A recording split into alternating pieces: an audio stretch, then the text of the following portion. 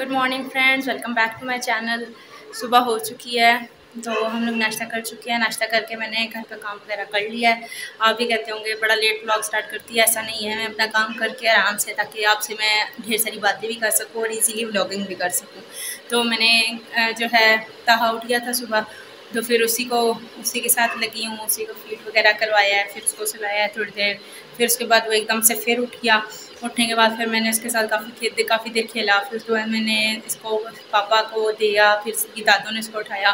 फिर मैं फ़ौरन से नाश्ता बना के, फिर हम सबने नाश्ता किया। नाश्ता करने के बाद फिर मैंने तहा को थोड़ी देर सुलाया, सुला सुला के जैसे उठी थी तो तहा सब फिर से उठ गए। यही होती है न्यू मोम की लाइफ खैर तो उठने के बाद बस फिर मैंने उसको एक हाथ में उठाया। उसके पापा सो रहे थे, उसकी दादों की सो रही थी, बस इसको मैंने एक हाथ में उठाया और फ़ौरन से मैंने घर की सफ़ाई कर ली। तो ब्रश वगैरह लगा दिया है, अल्हम्दुलिल्लाह घर की सफ़ाई हो चुकी है, नाश्ता वगैरह हो चुका है, बर्तन वगैरह धुल चुके हैं। तो अब वक्त है हांडी बनाने का तो मैं आज बना रही हूँ गोभी आलू। आपको पता ही है कि सब्ज़ी को काटने में कितना टाइम लगता है तो भी काफ़ी देर लगी है मुझे गोभी काटने में। तो मैं ताहा के पास ही बैठी हुई थी, उसको झूला दे रही थी, सास से झूले देते देते मैंने सब्ज़ी भी काट ली। है ना, मज़े की बात। तो अभी सब्ज़ी काट ली है, उसको मैंने पानी में भिगो दिया है, बस अभी फ़ौरन से हांडी बनाना स्टार्ट करते हैं, इससे पहले कि वो उठ जाए। फ्रेंड तो ये गोभी मैंने धो के रख दी है, पानी में भिगो के, ताकि पानी में जितनी ज़्यादा भिगोई रहे, वो उतना ज़्यादा अच्छा है। जब तक मैं मसाला वगैरह बनाऊँगी, उसको भूनूँगी तो ये तब तक पानी में भिगोई रहेगी। तो अभी बस जल्दी से गोभी बनाना स्टार्ट करते हैं। एक्चुअली क्या है कि गोभी में से क्या फूल इत, इतना सा तो होता है वो बस इतना सा तो निकलता है। तो इसलिए साथ में छोटी छोटी चीज़ें आलू वगैरह डाल के तो एक क्या कहते हैं एक टाइम की हांडी बनाई जाती है। तो बाकी आगे चलते हैं आप मेरे साथ बने रहिए है देखते हैं आगे क्या होता है क्या नहीं। तो मैंने आपको दिखाया कि गोभी को मैंने भिगो दिया। तो इसी तरह मैंने आपको बताया था कि हमने प्याज और टमाटर का पेस्ट बना के रखा हुआ है। तो ये रहे वो डब्बे। जिसमें हमने प्याज और टमाटर को पेस्ट बना के हमने फ्रीज़ कर दिया था। तो अब ये मैंने बाहर निकाल के रख दिए ताकि थोड़े से ये नॉर्मल टेम्परेचर में आ जाएँ, ताकि इनको खोलने में आसानी हो। बस इसको फ़ौरन से मैं प्याज को डालूँगी, फ़ौरन से ब्राउन करके, उसके साथ लहसन अदरक का पेस्ट भी तैयार है टमाटर टमाटर का पेस्ट भी तैयार है तो कोई मसला नहीं होगा, फ़ौरन से ताम झाम का ज़्यादा कटने की ज़रूरत नहीं है। बस जो ताम ताम झाम था, वो थी सब्ज़ी काटना, जो कि हो गया है। तो सबसे बड़ी बात यह है कि तहस हो रहा है। तो आसानी से मैं फ़ौर से हांडी बना सकती हूँ। तो मैं ज़्यादातर जो लेंथी काम होता है, वो मैं तहा के सोने के टाइम ही करती हूँ, जैसे कि सफ़ाई करना या हांडी वगैरह बनाना। तो जो न्यू मॉम्स है, मैं उनको यही सजेस्ट करूँगी कि जैसे ही आपका बच्चा सोए, आप रेस्ट ना करें, आप फ़ौरन से अपना काम वगैरह ख़त्म कर लें।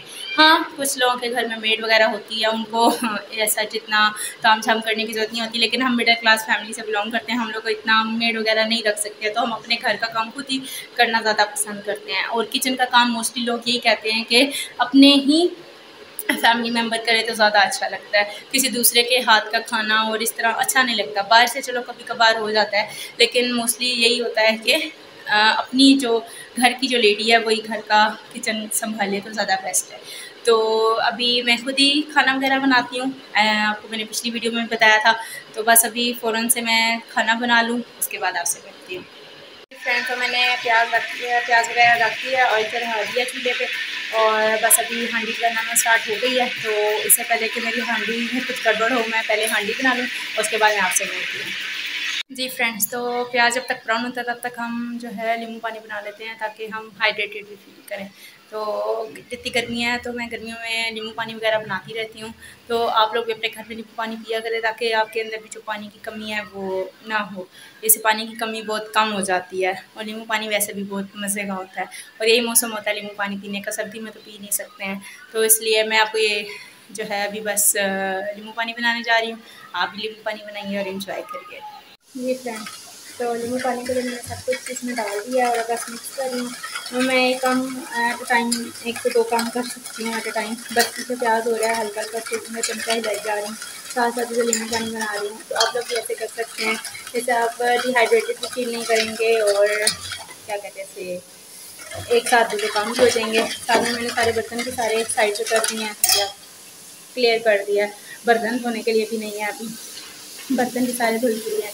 बस अभी फटाफट से हांडी हो जाएगी और सारे बर्तन धुल जाएँगे लीमू पानी सबको बना कर देती हूँ खुद भी पीती हूँ और आप लोग भी बनाइए और आप लोग पीजिए।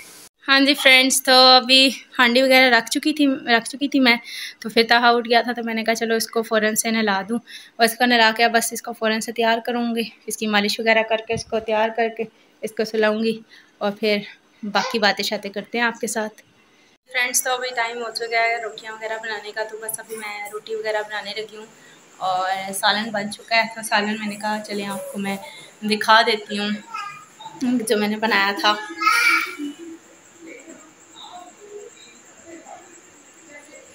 तो ये सालन रेडी हो चुका है तो बस अभी रोटी वगैरह बनाऊँगी, तब तक मेरा देवर आ जाएगा उस तब तक वो पहुंचेगा, मेरी रोटी तैयार हो जाएगी और फिर मैं खाना वगैरह लगा के सबको सर्व कर दूँगी और हम लोग खाना वगैरह खा लेंगे। तो बस अभी रोटी खाने का टाइम है। वैसे जब मैं आपको बता दूँ, उसके बाद मैं जो है शाम को ताहा को नहलाने के बाद उसके मैंने मालिश करके मैंने उसको सला दिया था।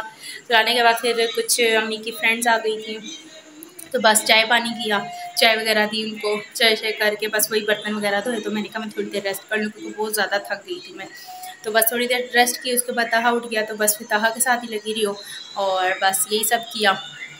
और यही आज की रूटीन थी तो जो आपको दिखानी थी एंड दैट्स इट तो जैसे कि मैंने आपको बताया कि गोभी मैंने आलू, गोभी आलू मैंने बनाया था तो गोभी आलू में ये था कि मेरे हस्बैंड को जो है खिली खिली गोभी बहुत पसंद है। तो जैसे मैं मुझे मैश गोभी जो होती है ना, मुझे वो अच्छी लगती है। लेकिन मेरे हस्बैंड को खिली खिली गोभी पसंद है तो मैंने फिर अब जब से मेरी मतलब मेरी शादी हुई है तो एक साल से ऊपर हो गया मतलब सवा सवा साल, डेढ़ साल हो गया, अल्हम्दुलिल्लाह। तो मैं जो है, उनकी पसंद की, उनकी मर्ज़ी की जो है खिली खिली गोभी बनाती हूँ। एक दफ़ा मैंने मैश बना दी, कहते ये क्या है? तो मैंने उनको बोला कि अच्छा चले, आपको खिली खिली पसंद है तो नेक्स्ट टाइम मैं आपको खिली खिली गोभी खिलाऊँगी। तो तब से फिर मैंने खिली खिली गोभी खिला, बनाना स्टार्ट कर दी। तो हर एक का अपना टेस्ट होता है।